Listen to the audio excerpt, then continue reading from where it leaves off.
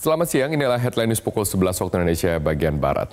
Pasca erupsi Gunung Agung di Bali yang terjadi pada hari Jumat 24 Mei pada pukul 19.23 waktu Indonesia Tengah, Bandara I Gusti Ngurah Rai Bali membatalkan empat penerbangan menuju Bandara I Gusti Ngurah Rai Bali dan lima keberangkatan dari Bandara I Gusti Ngurah Rai Bali. Bagaimana dengan kondisi penerbangan? Pada hari ini kita akan bergabung bersama dengan Bagus Putra, kontributor Metro TV langsung dari Bali.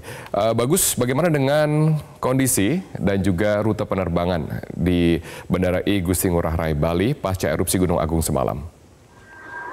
Iya, Egan. Pasca erupsi Gunung Agung Bali pada pukul 19.23 WITA malam hari lalu atau pada Jumat malam hari lalu, ini Bandara I Gusti Ngurah Rai Bali sudah kembali beroperasi secara normal. Jadi penerbangan yang kemarin malam dibatalkan yaitu penerbangan dari Bandara Australia dan juga keberangkatan dari Bandara Bali menuju ke Australia itu sempat dibatalkan pada uh, malam hari pasca erupsi Gunung Agung Bali.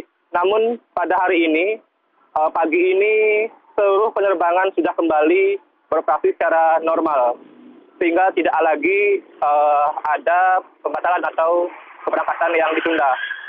Untuk kondisi saat ini di Kuta Bali, sekarang saya sedang ada di daerah Kuta Bali dan Seminyak, itu uh, aktivitas masyarakat berjalan normal. Tidak ada uh, kendala daripada akibat dari erupsi Gunung Agung itu.